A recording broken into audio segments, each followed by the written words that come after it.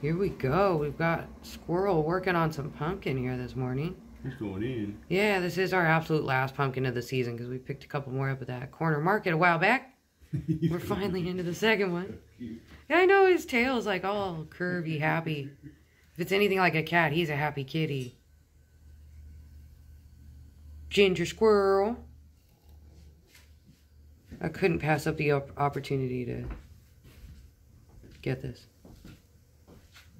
I think I'm making him nervous though. Keeps looking at me. Of course, he sticks his head inside, and then he, he's invisible for a second. Exactly, so he can't see if I'm gonna get him. Poor little guy, but he keeps taking a chance.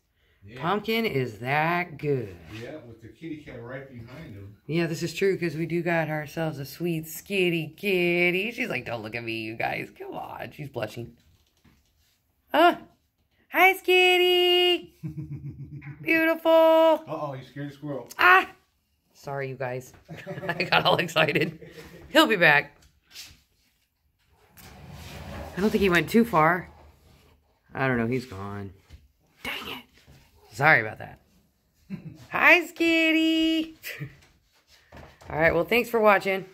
Me scare a squirrel away. We hope you're having a good day. We'll see you.